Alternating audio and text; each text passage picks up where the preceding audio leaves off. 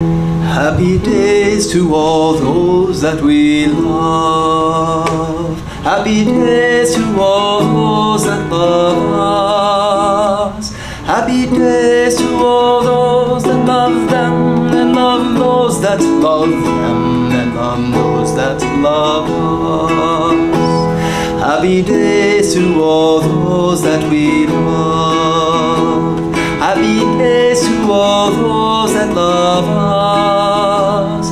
Happy days to all those that love them, that love those that love them, that love those that love us.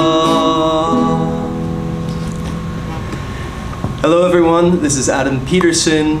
I'm the choral music teacher here at the Cincinnati Waldorf School. I've been here since 2012, and I want to warmly welcome all of you back to school. Happy days. Hi, welcome back. Welcome back, everyone. Welcome back. Welcome back. Welcome back. Welcome back.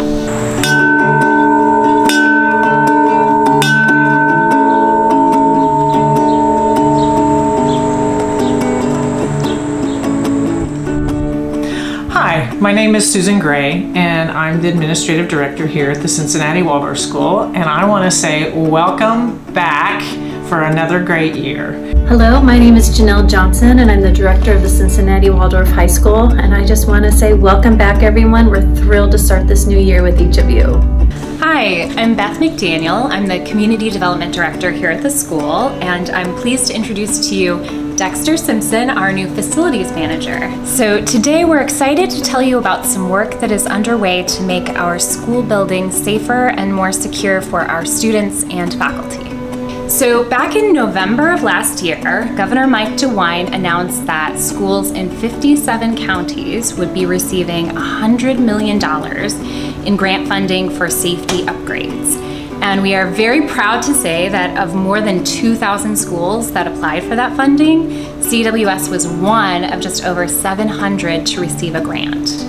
And these grants can be used for security upgrades for things like PA systems, video surveillance, locking mechanisms, exterior security.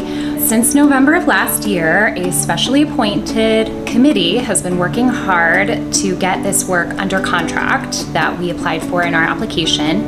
And now that we're closer to this work being actually in the works, um, Dexter is going to share the specific projects that will be underway.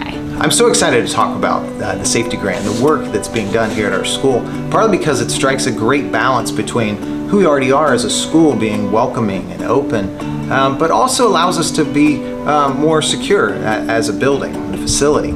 One of those ways in which we're going to be more secure is by doing some interior work and changing some of the, the locks and the mechanisms with our interior doors. The second key component, pun intended, is that we get to replace all of the exterior mechanisms, locking mechanisms as well. What that includes is a magnetic lock that is going to be much more secure uh, than what we currently have with keys, and with that will be key cards so that we can maintain and uh, be aware of who's entering and exiting the building at all times.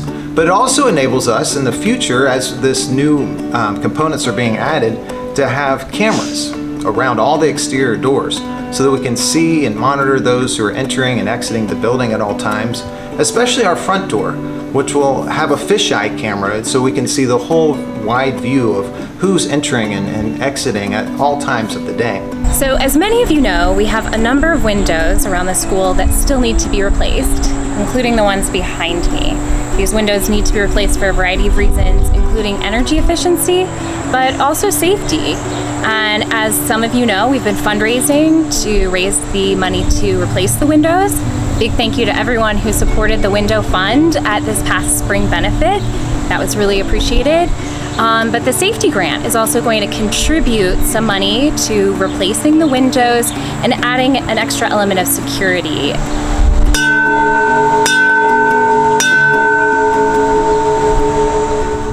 Hi, I'm Jeff Brandt. I'm the president of the Cincinnati Waldorf Board of Trustees. I've been a part of the community since 2011, 2012, when my two children started here at Waldorf uh, when the school was on the west side of town. Our current strategic plan includes creating the best possible environment for our students. And in Waldorf, that means a woodland area or a woodland campus. Having a woodland campus was one of the reasons we brought our children here more than 10 years ago. And I feel that it's important for our community to move back toward that. Hi, I'm Carmi Melora, and I am the Woodland preschool teacher at the Cincinnati Waldorf School. I've been teaching here for over 30 years. Several years ago, we had a lovely property called Meshiwa that was in Indian Hill, and we had a satellite school there, preschool, and Miss Kyle's Nature Tots was there. And it was a lovely opportunity that um, I will never forget when was first being spoken about that we were looking to have a forest kindergarten type preschool. I said, pick me, please. I would love to do this. And it was absolutely a dream come true for me as a teacher and for those lucky students who were able to participate in that program. And one of the things that was absolutely the most wonderful about it was the spontaneity that we were able to have and discovering the path that we walked every day. And then, but today there was a turtle and uh, the next day there would be a, a, little ephemeral pond with frogs in it. One of the memories I have was coming back from a hike and it had started to snow and the temperature had dropped and it was a really icy snow just blowing in our faces and I thought, ooh, maybe I really overdid it this time. And I turned around and the whole class were on their backs making snow angels and I was like, we're good, we're good. My name is Kyle Arthur known as Miss Kyle, and I am the parent and child teacher of the Nature Tots, and then I'm also Mrs. Arthur for fourth, fifth, and sixth grade handwork. So, looking back to my time um, at Meshiwa, I hold a very special place in my heart for it because Nature Tots actually was born there. We had parents and parents and tots, and uh, at that point, when we first went out, when I went out, Nature Tots came into bloom.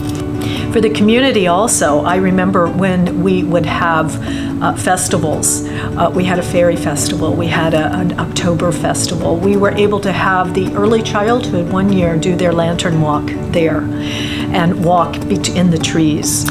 I also fondly remember when we had our gala out in that space.